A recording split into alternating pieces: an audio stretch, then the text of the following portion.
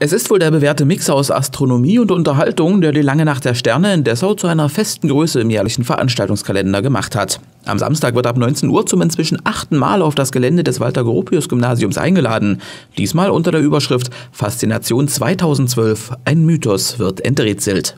Es geht also um das auch bei uns viel nachgefragte Datum 21. Dezember 2012 im Zusammenhang mit dem ja, von einigen wohl erwarteten Weltuntergang, warum auch immer, im Zusammenhang mit dem Maya-Kalender. Dazu haben wir uns einen Experten eingeladen, den Mario Krüger. Er ist Sachbuchautor, selber auch Pädagoge von Hause aus und war vor Ort in den alten Maya-Städten, hat dort Untersuchungen angestellt, wird von seinen Reisen berichten, von seinen Erfahrungen und natürlich auch speziell auf dieses Datum eingehen.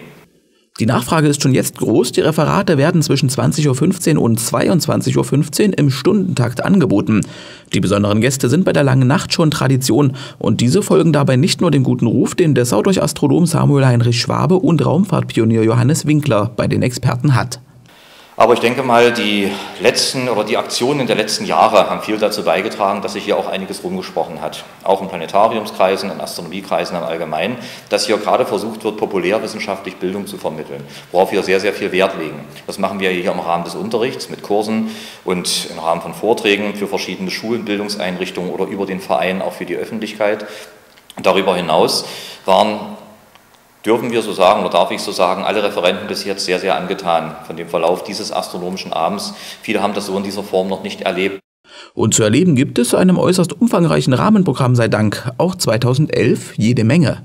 Werden wir die oder wird die Revue-Tanzgruppe Holiday mehrere Tänze aufführen. Wir haben orientalischen Tanz dabei. Die Schule der asiatischen Kampfkünste wird eine Lichtshow darbieten. Wir haben Live-Musik mit Lausitz Blues. Freuen uns besonders, dass die Herren und die Dame wieder den Weg zu uns gefunden haben. Wir haben natürlich die Creperie des Gymnasiums vorbereitet und die Orionbar. Selbstverständlich öffnet auch die astronomische Station ihre Türen, diesmal allerdings ohne Kurzvorträge. Die Augen der Besucher können sich nicht schnell genug an die nötige Dunkelheit gewöhnen, wie die Vorjahre gezeigt haben. Der Blick in die Sterne wird aber natürlich trotzdem nicht zu kurz kommen. An diesem Abend wird zwar der Mond kurz vor der Vollmondphase zu erwarten sein, das heißt, es wird sehr hell, aber wir werden dann auch die Mondbeobachtung durchführen und Sterne bzw. Nebel, die sich anbieten, auch mit äh, in die Fernrohre hoffentlich bekommen.